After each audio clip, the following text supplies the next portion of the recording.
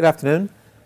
The, the, the, uh, the work I'm going to present to you now is, is very much an ongoing study, uh, and it's a study uh, by, by Ryan's team, plus myself collaboratively.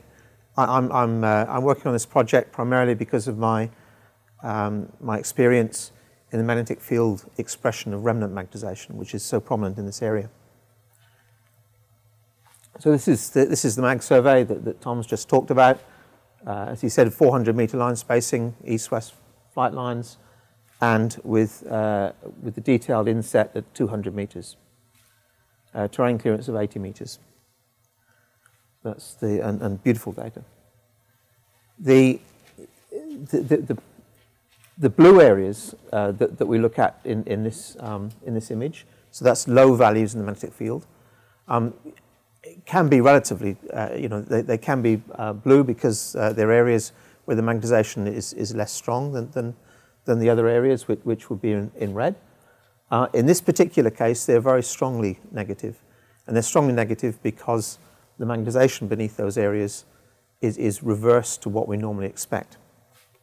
And it's reversed because rocks have two forms of magnetization. A ferromagnetic rock um, will have an induced magnetization because it's sitting in the present Earth's field direction, and we know the direction of that magnetization will be the same as the Earth's field direction. But those rocks will also have a remnant magnetization. And the, the, the, the, the relative strength of these two is very difficult to predict. It, it varies at all sorts of scales. Uh, it's called the Q factor or the Königsberger ratio. Uh, and in, in the case of, of the rocks giving us these, these big blue anomalies, uh, that, that that, that value must be more than 1. So the remnants must be stronger than the induced magnetization, and the remnants is in the opposite direction to the Earth's field direction present. Uh, so, so, so we, we, know that about the rocks. And, and a process to, to, to create this, uh, remnant magnetization is, is, is very common. As I said, all rocks will have this remnant magnetization. But to have such a strong remnant magnetization is, is rather unusual. And there is a process to create it called lamellomagnetization, which is an intergrowth um, of, of uh, a crystallographic intergrowth that can actually um, cause much stronger magnetization. The, the world experts in this, Peter Robinson and, and Susan McEnroe, uh, based in Norway, who, a group that we, we have some research uh, ties with. And, and, I'm hoping that, that if we can recover some core uh, when, when some, of these, uh, some of these targets are drilled, that we can pass it to them to look at. Uh, the other place, the nearest place that we see this lamellar magnetization is quite unusual. The, the, nearest place we see it is in, is in the uh, Giles complex. So Mar Mount Harcus in the Giles complex has, uh, has this, this form of magnetization. The, um, the, the extent of this uh, remnant magnetization, the, the, there, is, there is remnant magnetization um, through this new survey area, particularly the Coompana anomaly, and its satellites, as, as Tom mentioned. Um, some dikes uh, that we see um, cutting through the anomaly. Um, some very deep sourced bodies underneath the officer over, over in, in, West Australia, heading up towards the, the, the, the Musgraves, and in the Musgraves themselves. Now, um, at SARA, we've, we've worked, uh, I've worked on, on interpretation of the magnetization direction from, from these particular anomalies and on, on some of the rocks in, in the Giles complex. And, and I'm expecting that, within the next few weeks we'll be in a position to compare the magnetization directions that we're getting here in the Coompana with those. And potentially that, that may allow us to, to correlate those rocks because a similar magnetization direction would imply a similar age. The, um, today we'll focus on, on the southern part of, of, of, this survey, which is, which is the area where the exploration licenses have been released. Um, as, as, both Ryan and Tom said, the, the, the, shallower basement depths we see are mostly in the west, deepening mostly to the, to, to the east and north. And we can see that in the magnetic imagery, the, the sharp variations that you see in, in, in the magnetic imagery in, in, the west are because the, the, the, the sources are relatively close to surface and as we go to the east, most of the um, magnetic field variations are much broader and smoother, which is consistent with a deeper source. The, um, this is, this is uh, uh, a map where I've, I've, pulled out individual discrete anomalies that, that, that, are all due to, due to this uh, reverse remnant magnetization predominantly. And, and each of these will get a depth from, we'll, we'll, we'll get uh, an estimate of magnetization direction. And the, the magnetization directions will not be, uh, uh we, we, know already, uh, already from the uh, preliminary results, those magnetization directions are not, are not completely identical. So there's a range of magnetization directions which may allow us perhaps to, to put these into some sort of stratigraphic sequence ideally. And also, as I said earlier, to compare them with, with, with uh, those much deeper sources out to the west and, and with magnetizations in the, um, uh, in, in the Musgraves to the north. Um, as an example of, of, of, interpretation of these anomalies, this is, this is one of the nice simple ones. Um, a big blue hole. Uh, the, this, this is the, uh, here are the flight lines. This, this is from the, uh, the detailed surveys of those flight lines, I think a 200 meter spacing. The, um, this is the measured magnetic field, and on the right-hand side is, is the modeled magnetic field. So, so, we've, we've run an inversion. This, this purple line here is the outline of the body that explains this anomaly. This is the, this is the data, the input data that inversion. That's the model that the inversion creates. And looking at the, the, the, magnetic field forward computed from that model, you can see that we're matching the data very well. Now, this doesn't mean, unfortunately, the, the, the non-uniqueness in, in, in, the, uh, in the magnetic method doesn't mean that that model is correct, but it means at least it is a, a good feasible model. And the direction of magnetization is actually a very, um, uh, a very robust estimate. So um, although details of the, of the shape and the depth of the body may, may not be very reliable, um, the, the, the, magnetization direction itself is. So, so, that, that magnetization direction should be reliable to within, certainly within about 10 degrees. And this in, in perspective view is, is the body, so that, that was the top of the body that we saw just now in, in plan view. This body is steeply, steeply plunging. Um, and it, we're modeling it here just as, as, as a homogeneous magnetization. That, that, that body won't, a body of that size won't be homogeneously magnetized. But as you measure the field some, some considerable depth, uh, uh, elevation above it, you can only have, you have to treat it as being, as being homogeneous. And the, the estimates we get out, that the intensity of magnetization, 7.2 amperes per meter, is, is, is, a, is quite a strong magnetization, particularly for that large volume. Uh, this is the magnetization direction, and, and the depth uh, from surface down to the top of that body is about 1,200 meters. This is one of the anomalies up just to the north of the main Coompana anomaly. This is one of the bodies out to the, um, uh, set of the anomalies out to the west. And, and this, the, the, the, um, the, the, most likely explanation of, of this sort of pattern of variation is that there's, there's, there's a sheet of reverse magnetization, which is probably thick and, and is quite prominent in the, in, the, in, the, in the south, giving rise to these high gradients. We see it, it gradually tapers off to the north. And I would expect possibly feeding that, so coming up as pipes beneath it, are, are these discrete anomalies underneath. So the, the, some of these bodies are, are, in themselves quite complex. Um, and and uh, the, the most complex of, of, of, the lot is, is, is the body which, which is the sort of southeast satellite of the main anomaly down here, which is, I've blown up in more detail, and this, this particular pattern you cannot explain with a single magnetization direction. So this body has complex magnetization, and I'll show you one, one possible uh, explanation for that. So I'll show you one model that explains the data. Um, as you go to more and more complex systems, this issue of, of non-uniqueness in, in, obtaining your results becomes more and more of an issue.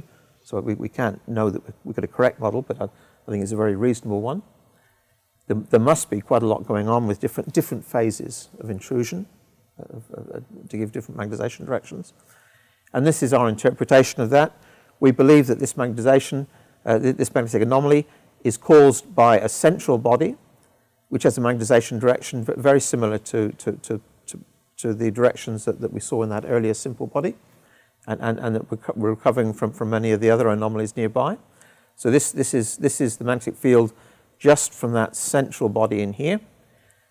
And then if we superimpose on that a, a, a, a different magnetization direction, a lower inclination magnetization direction, more, more closer to the horizontal, um, which gives this polarized positive to the north and, and negative to the south. The combination of those two So, so here, here are the two bodies, a, a, a, central body with the, with the magnetization which is most common of, uh, in, in, the Coompana area, and an outer body which has a lower inclination magnetization with a different age, most probably. Um, so here's, again, is the, is the measured field. This is the modeled field. You can see we're not, we're not recovering all of the detail in here, but this is quite a successful model of, of the, the general pattern of magnetization in that body. We can always add detail in to, to, to, um, to match the other features. Now, now this, this should be quite exciting. We have a multi-phase body in here, and, and we, we might predict that, that, that uh, which increases the possibility of, of, of, mineralized systems. And we might expect that, that the zones of the contact between those two, two different bodies would be areas where, again, there might be stronger mineralization potential. So we can use uh, this, this sort of magnetic field interpretation to try and look at the prospectivity and, and, and develop concepts of, of, of what, what we might like to look for in these, uh, in these rocks. You'll notice that I've, I've avoided saying what I think the, the lithologies are. From the magnetics, that, that is, that is, a, that is a, a difficult task. So uh, a lot of the interpretation is going to have to wait until we've got at least one or two holes into these. Um, depth estimation is, is really critical, as, as, as both uh, Ryan and, and, Tom have mentioned in this area. Uh, you know, how deep we're going to need to go to before we hit the basement. There are different approaches you can take to estimating depths. Uh, one is to run what's called an automated depth estimator, and, and you can run those uh, methods in, in minutes and, and, and, get hundreds or thousands of solutions, but each solution of, of almost meaningless um, reliability. Um, we've taken a, an opposite approach to, to pull out anomalies where we believe we can get good results and to focus and, and do um, uh, handcrafted solutions. And this is an example. So you can only get, you can only get depth from the magnetic field where you have a suitable anomaly. So above a suitable magnetization variation, you can get the depth to that magnetization direction using a model assumption. And all depth estimators use model assumptions, either explicitly or implicitly. Um, so what we do is, is pick out the features in the field. So this, this particular variation in here is, is a feature that looks as if it can be explained with a simple magnetization model. And this is a magnetization model. It, has got a flat top, and, and um, we might hope that that flat top would be, uh, would be perhaps where that body has been exposed at a, at a basement surface. So that's, that, that, would, that would be uh, a sample of, of possibly of a, of, a, of a basement surface out to the side. The, the, the, the basement is essentially non-magnetic, or, or, you know, there's, there's no substantial magnetization contrast with the overlying sediment, so you don't see it. In here, that, that, that particular part of the basement is, is over a strongly magnetized rock. Um, and the, the, the, variations, the variability we have is, is how wide that is, um, what dip it has, uh, what, what the strength of magnetization is, and if we run an inversion that tries to simultaneously match all of those variables, we come up with a model and we have a background, we have to assume a background field, a, a, a background field that, that would give us the magnetization uh, if this body wasn't present, which of course we can't know, but so it's an interpretive background field, but this is a purple line of what we expect the field to be if, if this body wasn't there. And then superimposed on that in black is the is the measured field, and, and the red line that matches it very closely is the, uh, is the model computed field. So it means our model is explaining that magnetization variation very closely. But again, that does not mean that it's right. Because th this, this particular body has, uh, has probably about half a dozen different parameters that have to be simultaneously optimized. And while depth is, is, is a parameter we're interested in, variation of the strength of magnetization and the width of the body in particular can, in combination, uh, compensate quite effectively for any, any error we make in estimating its depth. So there is, there is inherently a fairly low uh, sensitivity to these magnetization directions. At very best, we may be within 10 to 20% on this. We may be exactly right, but by luck.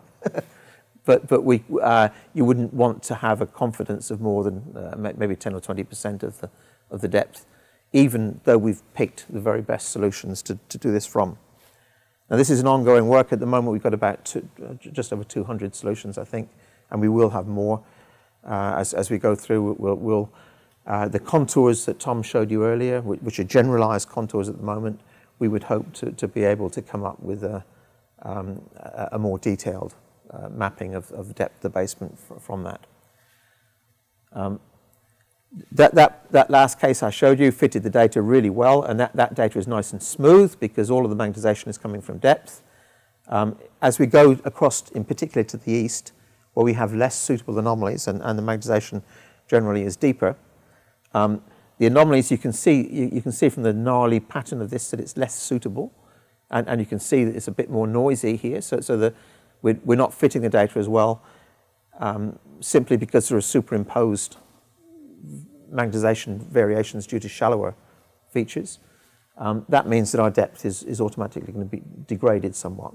We, are picking the best anomalies we have, uh, but out in the east and to the north, uh, there are less suitable ones to use. Um, these are the depths that we've got at the moment. Not all of these are, are basement depths, so, the, the, these very, so these, are, these are size and color coded on depth down to about um, two and a half kilometers. Some of these shallower ones up, up, up in the north here, you can see, are, are not basement depths. These, these are, these are uh, depths to sources um, that are up in the cover themselves. So, so these, these depths we've got in, initially, we've gone through and, and, and obtained the depths the next thing is to attribute them geologically and, and try to put the whole thing together into a pattern. Now, I focused on the, um, on the remnant anomalies, which, which, is what excites me as, as my particular um, uh, interest. But, but th there are also a number of features in here. Th th these, these, these are the magnetizations that I said are, much shallower. They're obviously up in the cover. Um, in some places, these, these, we can see variations like this that have a distinct characteristic of, of paleochannels. Um, these particular ones, so there, are, there are several episodes in there. Um, whether these are paleo channels, whether they're dunes, whether they're um, strand lines, they're, they're concentrations of, of, of, magnetic material, or almost certainly magnetite, within that cover sequence. And potentially with, with some, some, some uh, mineral um, mineralization uh, association, although you wouldn't, you wouldn't be able to derive that information from the, from the magnetics itself. You, you need to know about the source, source material for, these, um, for this cover sequence. And this is, this is an enhancement of the data. This is just a, uh, a vertical derivative of the reduced to pole that, that really uh, highlights the shallower features. So up here, the, the basement, um, so these are some of the dikes that Tom mentioned um, and, and, those will probably be a, a kilometre or so or, or more depth. The, these, the, this, these magnetizations up in the cover are quite weak, but they're very much shallower. So this particular enhancement pulls them up, relatively speaking. So there's, there's um, potentially there's some exploration work to be done on, on systems like this. Um, uh, although you, you can't, you can't um, and, and the first thing as you look at shallower features is, is to see whether there's any, any uh, expression in, in the terrain that, that, you, that you can link them to, and, and that's, that's not evident in this case, so, so they're, still buried a little bit. Now this, this is um, looking here at the, the, northern edge of, of, the, of the main anomaly from, from, from the Coompana. I've not shown a depth for that. Um, if you use a simple, simplistic model with, with sharp edges on it, for that main anomaly. It puts it down at six to seven kilometers at least. But there is some indication, it, it, there's some subtle indications in the field. That this, this, this line that, that in part possibly defines the northern edge of the anomaly has a fairly sharp edge to it, and there may be a, an, an you know, uh, there may be other edges in, inside that. Um, if that really is, is, is, is, is a feature of the field due to, due to that main anomaly itself, then that suggests that it cannot be at six to seven kilometers, it must be shallower. But it must also be a more complex body. So you could, for instance, have a body that's, that's sort of funnel shaped so, so that it tapers towards its edges. But in the case that it does, you then you, you, you, can't get the depth to it. You know, the moment you introduce that sort of complexity into its shape, you can make almost any shape fit the data. So um, there's some indication that the body may not be really very deep. But whatever it is, it's a very large body. Much of it must be at depth. And, and that larger body, the, the, the heat and the, and, and, the fluids that it introduces must have considerable capability for, for, for creating um, mineralized systems. Now, the other feature that I'd, I'd draw your attention to in this, which, which is really interesting, are these pimples. Many of these are, are, you see on single flight lines. And, and you see it on one flight line, you don't see it on the next. And the flight lines are, are depend, uh, this, is, this is still in, in the, um, uh, this is still within the, the detailed survey area. So the, these flight lines would, would be 200 meters apart. So you see it on, on a flight line that 200 meters away, you don't see it. It has to, obviously to be very shallow and very small. Um, a few of them you can, you can see they, they appear to line up. Um, and in some cases, they line up with, with gaps between them. In other cases, um, the, you, you, get pimples on successive lines. So it could actually be, although the, the, uh, the, the, gridding is making it look like a pimpled source, it, some of these could actually be quite, quite long, thin, and very shallow bodies. Now, if you saw this sort of pattern in many parts of the world, um, you would be concerned that, that, it, that it was some sort of man-made feature, that something this has to be so shallow, it has to be at, at surface more or less, and it, and it cannot have very much of a depth extent. And in many parts of the world, you say, well, you know, uh, are there wires out there? Are there fences? Uh, the, out here, I, I, don't think there are many. So, uh, you know, th th these, these are still natural sources, presumably, um, but they are very shallow. And I've, I've modeled um, uh, one of those. So here's, here's some modeling of, of, of just one pimple. So here, here's the, the, the, um, the, the TMI, the mag measured magnetic field. These contours will be quite small, although the amplitude of these is quite surprising. Uh, they're, they're, they're tens, tens of nanoteslas uh, amplitude. So here you can see the, the, these red lines are the flight lines, the blue lines are the, uh, what we call the stack profile. So this is, this is a measured magnetic field. You can see there's, there's a regional gradient due to the very much deeper bodies, but this superimposed anomaly is, is, that, is that feature you see on that particular line. You don't see it on the line to the north, you don't see it on the line to the south. Um, and and here, here are the flight lines. You can, you can see a lit, just a little bit, maybe on some of those uh, other lines. You just really just see it on a single line. It has to be that this, this blue line is, is, the, is, is, is, the, is the elevation of the aircraft. The red line is the ground surface. This, this magnetization has to be at the ground surface. Um, and this is a surprisingly high magnetization for, um, for a, a, a, cover material. Um, presumably, it, it, it, you would expect that it's detrital magnetite in, in, in the sediments, uh, but, but you do, do not normally get that, that degree of so it would be interesting to, to know what that is. And, and rather than the, the six to seven kilometers to the main Coompana anomaly, you could, you could, you could hit that with a shovel. And so, you know, it, would be really exciting, you know, and, and, we, need, we need to go out there with, with, with some ground magnet, magnetometry. You see it on one line, you don't see it on the next ones. It means, it means that the, your airborne survey is not, you know, you know is, is not giving you the resolution that you need to look at these very shallow features. It would be marvelous to get out there with a, um, with the ground magnetometer and, and, and, look at some of these features. Uh, exactly what they're due to, I, I, I haven't got a clue. Um, the, the, nearest thing that I can, I can some of this, if, if this, if this uh, ground here is, is, is, is limestone, is, a, a, is that right, Tom? Some, the, the, nearest thing I can think of to, that, that, I've seen for this, and, and, it wasn't with magnetite, but with, with tin ore, uh, is, is uh, I've seen um, karstic um, uh, surfaces of, of, of limestone in, in, in, in Malaysia where the, the tin miners would, would preferentially go to the, to the small features in, in the karst, the irregularities in the surface, that, that were then very effective at, at trapping the detrital minerals in, in any, in any um, cover that's, that's washed across it, the top of it. Um, so whether, these, whether this is, is, is detrital material infilling small cave systems or, or, or top, uh, karstic features, uh, possibly. But, and again, what, what, what they're due to, what, what sort of mineral potential they could have, I, I, um, I haven't got a clue. so thanks for your attention.